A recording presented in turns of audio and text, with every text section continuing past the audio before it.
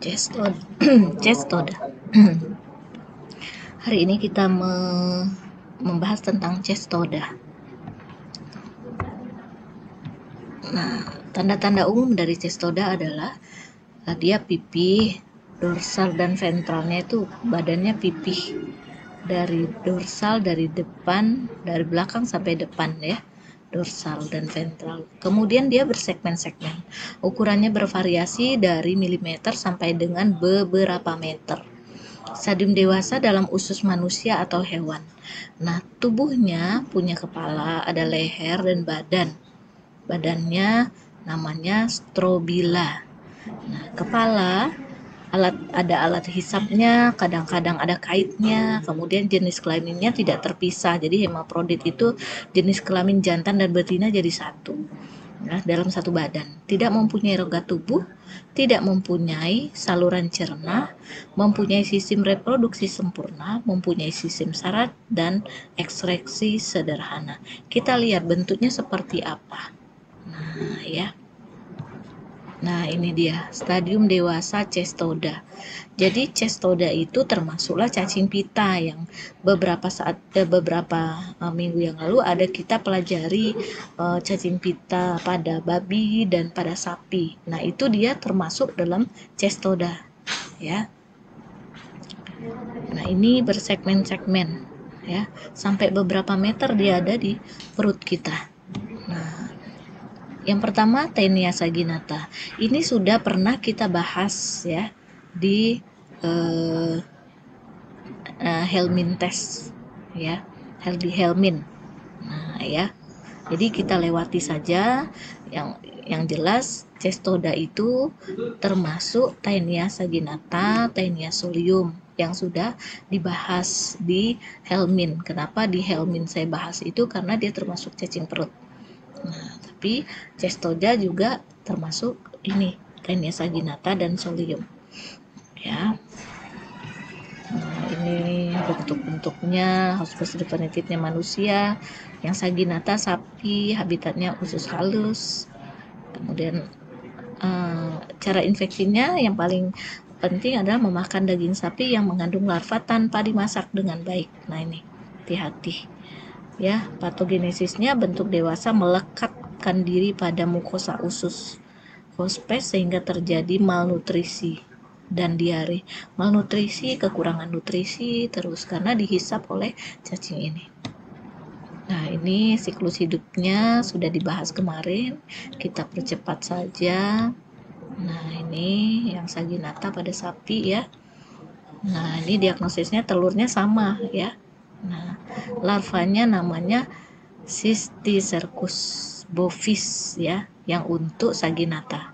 Kalau yang eh, pada babi Cysticercus eh, apa ya lupa. Yang ini sapi Cysticercus bovis. Nanti kita lihat ya. Nah, jadi cara pemeriksaan larva pada otot secara langsung ya di biopsi dan sebagainya nah ini kapsul dalam jaringan otot mengambil dengan jarum biopsi dan sebagainya. Kita tidak kerjakan ini. Eh, ini analis ya.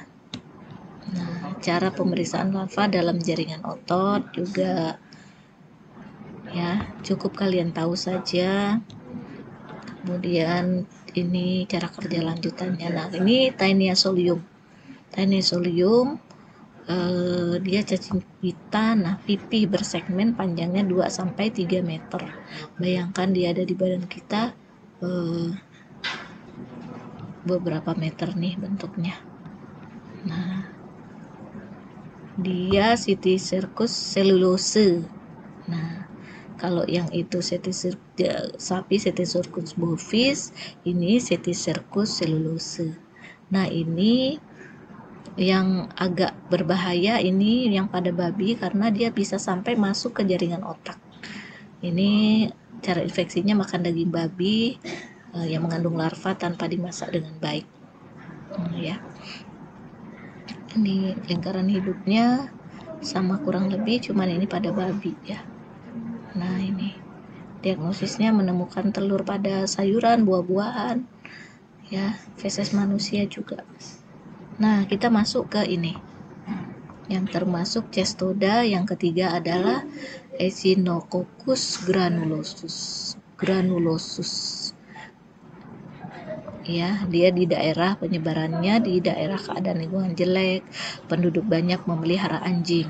Nah morfologinya dewasa pipi seperti pita bersegmen-segmen ini sama hampir sama dengan cacing pita pada bal sapi dan babi. Panjangnya 3 sampai 6 mm tidak mencemari lingkungan di di dalam hospes di luar hospes dia segera mati.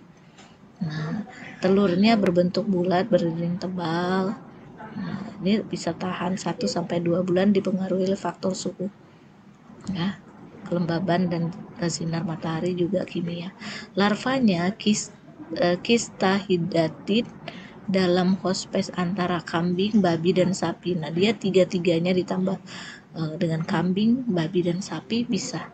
Nah, ini bentuknya seperti ini.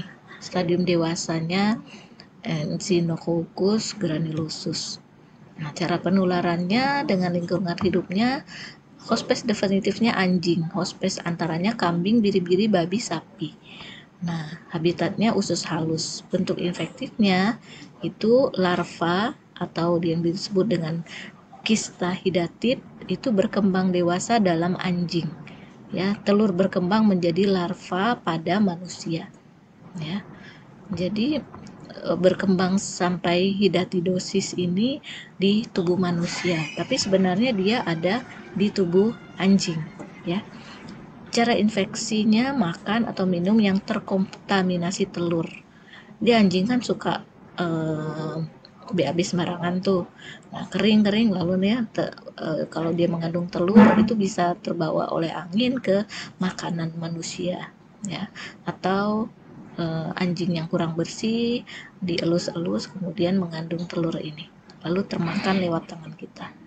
Jadi patogenesisnya kista hidatid tadi dalam rongga uh, seperti hepar, paru-paru, otak menyebabkan hidratidosis ya penyakit hidratidosis. Menyebabkan fungsi organnya terganggu. Tergantung dia ada di mana dia di hepar kah di paru atau di otak ya. Jadi di tempat dia berada itulah uh, fungsi organnya jadi terganggu. Nah, ini siklus hidupnya. Nah, ya. Dia misalnya di otak. Nah, nah ini dia keluar misalnya di oh, itu dia keluar lewat ini. Tapi sebenarnya awalnya itu punya anjing, anjing dan domba. Nah, habis barangan, kemudian nanti termakan ya, termakan oleh manusia. Nah, dalam bentuk kistanya dalam bentuk telurnya. Nah ini nah ini sebenarnya uh, dia berada di tubuh uh, hewan anjing dan domba. Ya nanti bisa menginfeksi ke manusia. Nah dia pelihara anjing pelihara domba nah ini. Sebenarnya tadi anjing ini kadang dia mau juga makan kotoran. Nah kotoran domba ya. Dia makan lalu kena nah anjing akrab dengan ini. Atau nanti termakan lewat kontaminasi daripada anjing. Nah diagnosis penderita hidatidosis secara serologis radiologis itu ada tes serologisnya. Kemudian lingkungannya menemukan telur pada sayur tanah dan buah. Telurnya hampir sama ya dengan tadi eh, tenia saginata dan solium pencegahannya mengobati sumber infeksi, memperbaiki lingkungan, memelihara anjing yang sehat. Jadi anjingnya juga harus sehat, dimandiin, dibersihkan, ya. Nah, ini, ini kista protozoa. Ini ada dari telur, nematoda, cestoda ditemukanlah di lingkungan di sayuran, tanah, buah-buahan. Nih telurnya, ya. Ini termasuknya ini trikuris ini ascaris. Nah, ini telur-telur protozoa, telur nematoda dan cestoda yang berada di lingkungan dan mencemari ya telur-telurnya ini. Dan buah-buahan juga. Makanya semua harus dicuci bersih dan sayur juga dimasak ya. Kemudian eh, Dipilobatrium latum. Nah, ini salah satu yang hampir sama ya. E, cacing pipih juga e, apa e, cacing pita juga. Keadaan lingkungan jelek PAB di e, luaran di selokan. Nah kebiasaan makan ikan salmon yang dimasak dengan tidak dimasak dengan baik. Nah morfologinya ini dewasanya pipi seperti pita bersegmen-segmen. Nah panjangnya bisa sampai 10 meter. Di luar hospes dia akan mati, tapi di dalam tubuh manusia dia tetap hidup dan e, menghisap sari-sari makanan kita. Nah, telurnya bentuknya oval, mempunyai operkulum. Di tanah akan mati, tetapi jika berada di air menjadi larva. Jadi di tanah dia sebenarnya bukan mati, dia diam aja karena bentuknya telur. Tapi kalau bentuk e, apa namanya e, larva, dia di dalam air dia menetas di dalam kok di dalam air. Larva dapat hidup di luar hospes terutama di air tawar. Di dalam air tawar itu stadium 1 2 3 ya bisa sampai 3 minggu. Nah ini stadium dewasa di Pilobatrium latum. Nah ini stadium dewasanya. Bentuknya sama seperti bersegmen-segmen begini Nah, cara penularannya atau lingku dan lingkaran hidupnya manusia ya hospes definitifnya hewan karnivora bisa kucing anjing habitatnya di usus halus. Dia menghisap.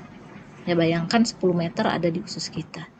Ya hospes perantaranya pertama tuh golongan krustasea ya nah, siklop kemudian dia uh, dia promus diatomus ya kedua ikan air tawan tawar atau salmon ikan salmon ya.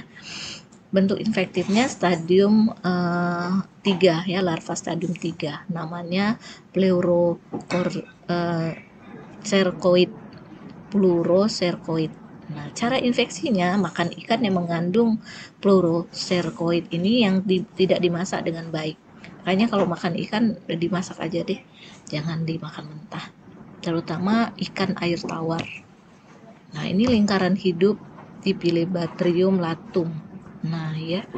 Jadi dari uh, anjing atau kucing dia mengeluarkan fesesnya uh, bila terkena air atau banjir dia akan menetas ya menetas kemudian jadi larva dia berkembang uh, berenang-renang di air kemudian dimakan dengan krustasea ya lalu yang uh, siklops ini siklops siklopsnya kecil ya. Jadi dia dimakan sama ikan. Nah ikan yang mengandung siklops tadi turut uh, otomatis dia mengandung ini larva. Nah nanti dimakan oleh manusia yang um, yang sehat. Sehingga manusia mengandung daripada uh, dipilih uh, dipilobacterium latum ini.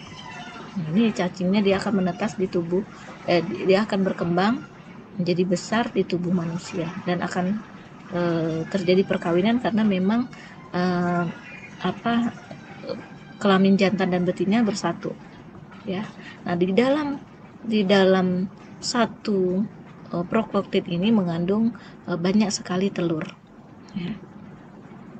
nah ini e, siklus hidupnya ya menetas kemudian nanti dia dimakan ikan eh dimakan krustasea nah, kemudian krustasea dimakan ikan.